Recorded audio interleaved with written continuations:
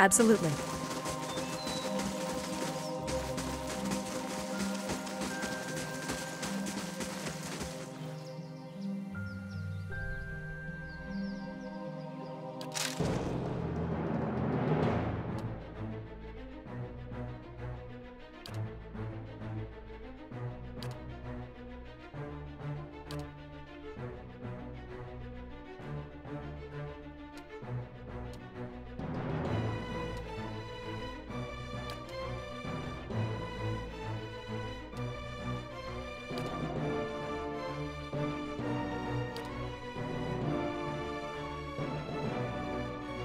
Back